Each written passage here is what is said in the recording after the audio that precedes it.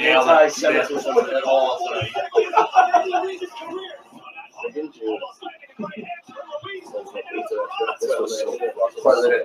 Yeah, superintendent of the cross in the middle of the field, professional football. You watch, dude, I was watching the fight again, and he got hit in the ear. It's the first time he got hit in the ear, dude.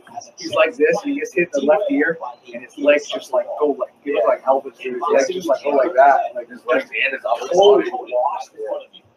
That's a big fucking ear. Yeah, that's a fucking. Ooh. A trilogy fight has been widely discussed and expected, but plans, hopes, and dreams can come crumbling down in a single moment.